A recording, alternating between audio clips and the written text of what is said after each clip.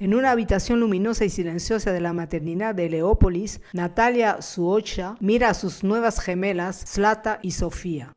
Había huido de Ostomel en las afueras de Kiev en los primeros días de la guerra cuando los rusos empezaron a bombardear un aeropuerto cercano. Suocha solo tuvo cinco minutos para recoger sus cosas e irse al oeste de Ucrania, donde nació y su familia tiene una casa. Ahora, mirar a sus bebés es una grata distracción de la guerra y de los amigos que ha perdido. En el hospital ha conocido a otras madres desplazadas. Solo hablamos de los bebés bonitos, dice su ocha. No hablamos de la guerra. Cada vez que se habla de la guerra nos estresamos.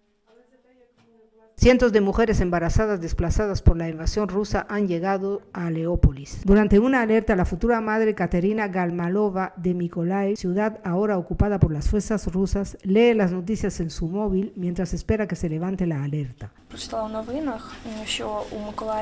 Sobre todo no quiero que los niños nazcan en la guerra, no quiero dar a luz en la guerra, no quiero dar a luz en un sótano o en un búnker, no quiero que ningún niño nazca en un lugar así.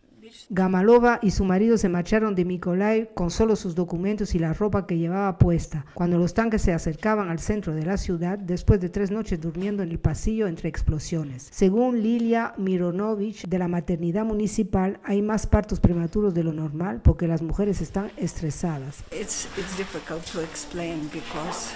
Sabemos que tenemos que resolver este problema y es nuestro dolor, nuestras muertes y de nuestros hijos, no de todo el mundo entero. El mundo entero está con nosotros, ayudando con las armas, pero son las muertes de nuestros niños, de nuestras mujeres.